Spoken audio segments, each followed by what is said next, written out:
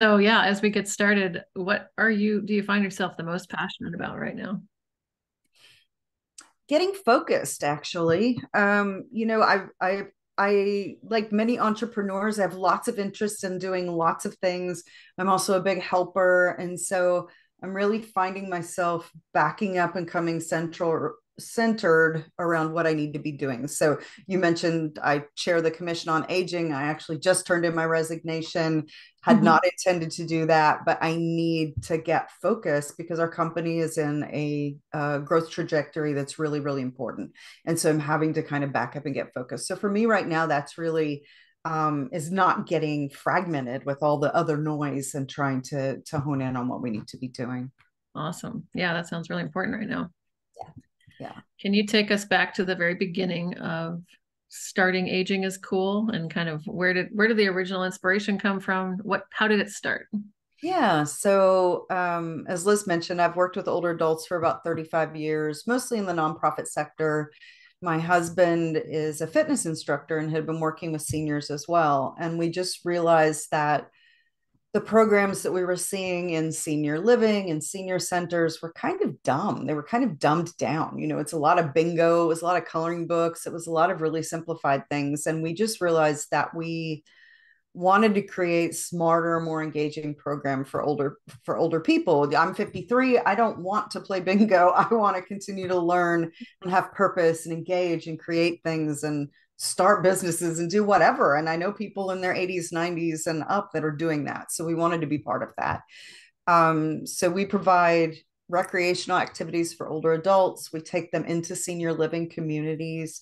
Um, but that's not actually how we started. So we sort of had this concept of what we wanted to do.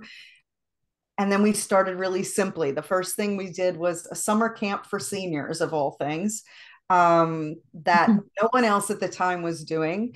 Um, and we did it for about three years only to learn that we weren't making any money at it. We were losing money constantly. it was just not, but we knew it was a piece. Again, it was that, that like learning as we go, that sort of what's important, you know, what were we trying to do? The mission was active aging. And what, what did that look like? Um, so from there, we went to this kind of membership model where we charged older adults 30 bucks a month. They had, you know, 15 or 20 activities that, that they could come to. We rented space and gyms and uh, meeting rooms and all of that. And again, found that it wasn't financially viable. It was really, really hard to find older adults, to market to older adults, to get them to pay for it.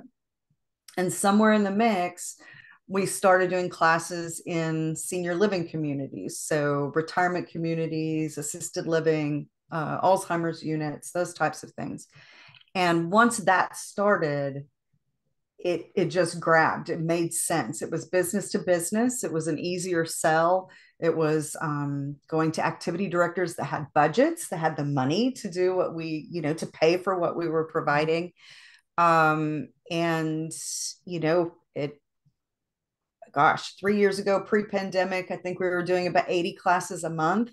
Um, wow. At the end of this year, we'll be doing 300 um, so it's and we're and and we've expanded now um, into three states and moving into our fourth state uh, in January, moving into Florida, which is you know retirement capital of the world, right? So, um, but we never thought we'd be here. We never thought we'd be here. Like we always thought we'd just be Austin based. We'd just do our best. We'd just make a living. We'd have a feel good job.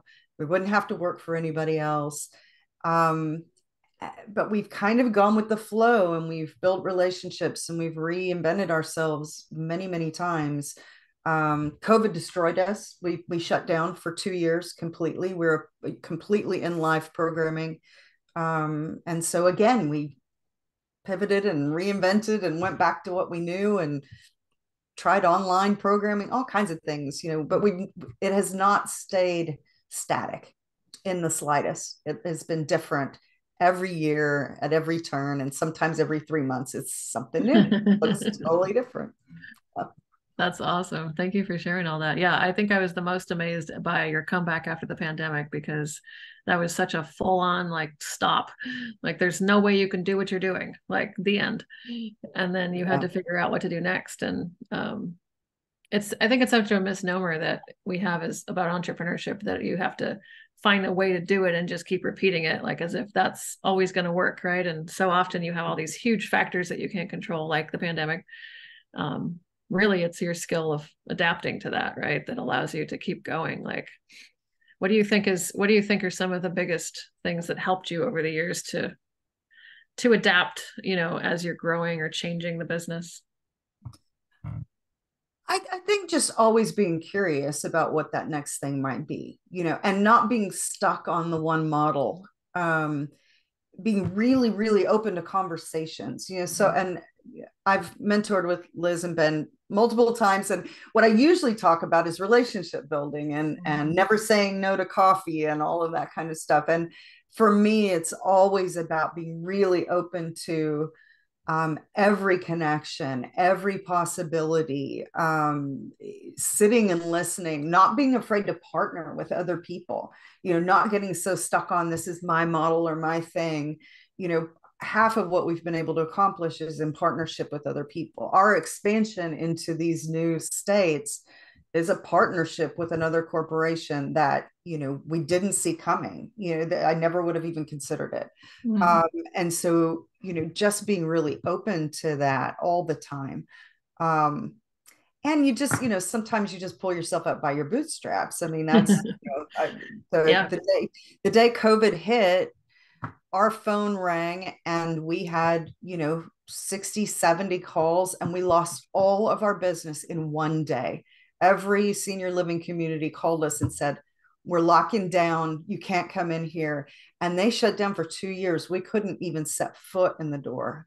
Um, and it was our entire model, our entire model. And so we had to really think differently and we very quickly had to learn like everybody else right you know we're not the only ones but learn how to use zoom learn how to create online programming we created newsletters for seniors that would keep them you know have something to so they'd have something to do during the day because they couldn't leave their rooms you know we had to get really creative about what else we could offer um, and then somehow not be afraid to bring it back again right?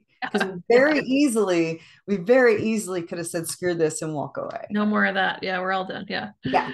The heartache was horrific again i know i know we weren't the only ones but it was it was horrific and it was scary and to be able to go okay let's try again and then it come back gangbusters because now there was this new interest in people being connected right? yeah now it's even more yeah more focused than it was before yeah we knew we know more about social isolation we know about the value of that of the interactions and all of that and so mm-hmm. to bring that all back um, so that resilience of getting knocked down and getting back up again is really important.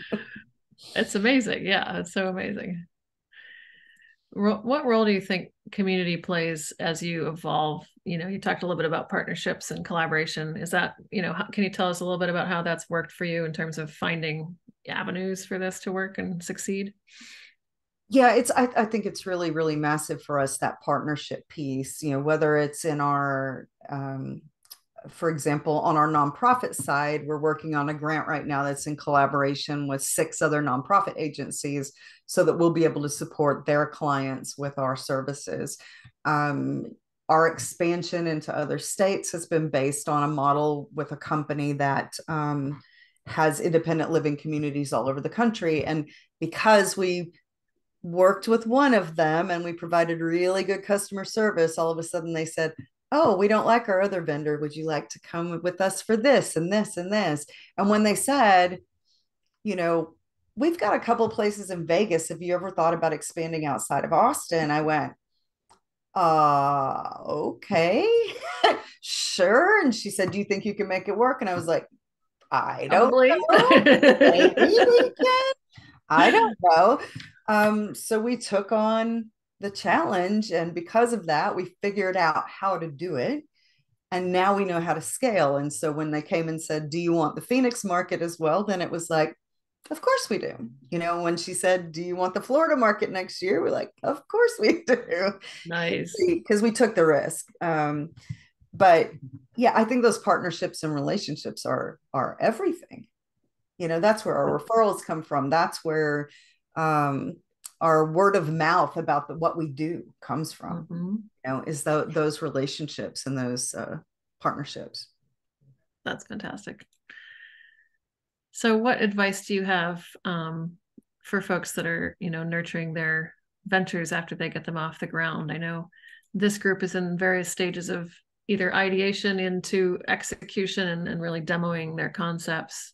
What advice do you have for them uh, don't get stuck you know don't get stuck in what you thought it was supposed to be. Um, i have circled back so many times my poor husband. Every year i think i say we should do the summer camp thing again. And every year he says to me are you insane it because it didn't work. It was it, but it, it it felt good and it was so fun and it was like everything and like we got really great media like internationally. We like we had coverage in Japan. I mean, it, it was this so cool idea. Um, nobody wants it. Nobody wants it. Mm. Um, and so just because you think it's a brilliant idea and you're in love with it, it may not be the way that people want it. And so really listening and iterating over and over and running those tests and running those surveys and running you know asking the questions is this working? Is this what people want? Um, and actually asking the people i have to say i'm really still guilty about that.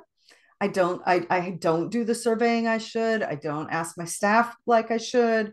I and it's just because we get so caught up sometimes in in um, the day to day but i think that listening process of um, you know what did you think about that? Do you like the product? Is it helpful to you? Would you pay that kind of money for it? And i think some of us get stuck in the fear of like we don't want to hear the negativity or we don't want to ha- have somebody say no i actually think that's a dumb idea.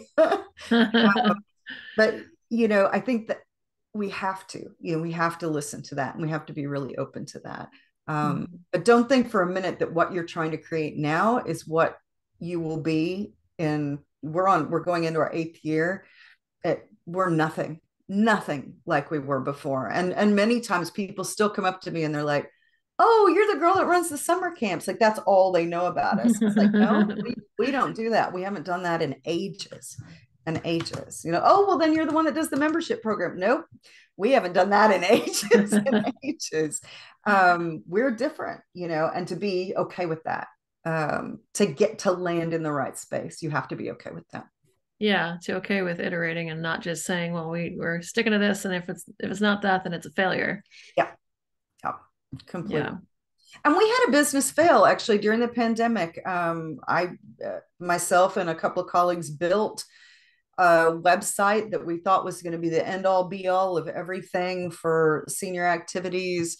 We worked really really really hard for three years on it and it turned out that people didn't want it um, and we were never able to make a penny on it. We never mm-hmm. made a penny.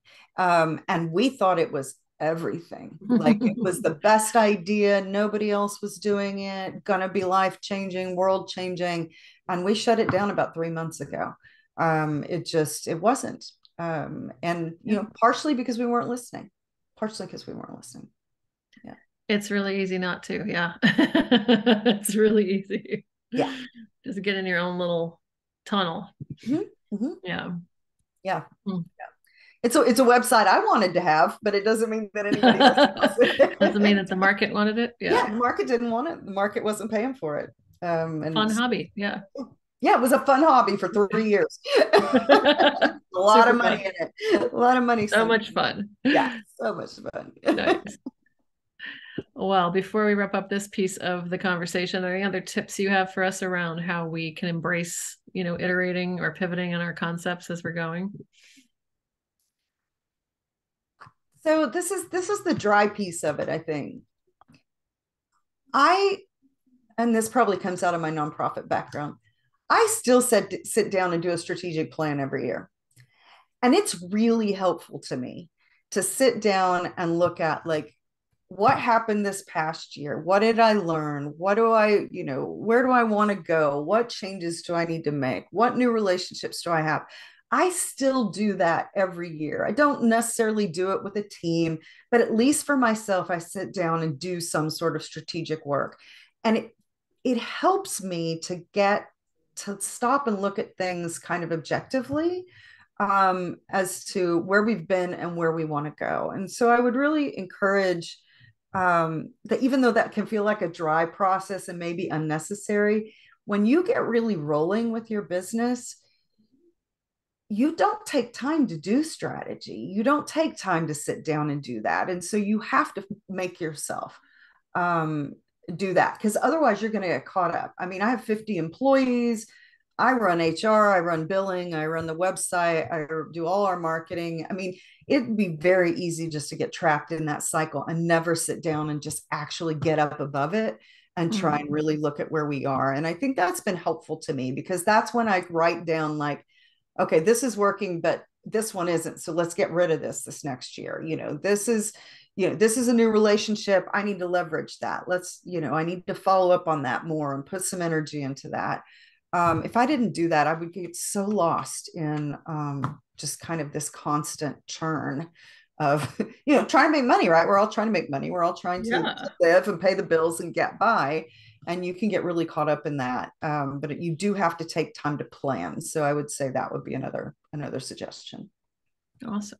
Thank you so much. Well, this is wonderful to uh, hear the latest iteration of what you're doing and just to hear your wisdom on everything. Um, after this, we're going to take a minute to do some journaling, and then we're going to open it up for Q and A with you. Um, before we do that, we you know we like to ask our mentors, what can the group do for you? Oh goodness, you know I don't even know these days. I used to have really good answers about that. I mean, I think you know, for me, we're we consider ourselves you know a social venture right? We we the reason we do our business is because we want to change the world. And one of the big things around that um, for us is sort of being anti-ageist. And so really for me these days it's just sort of about challenging people to look at their own views around aging and ageism.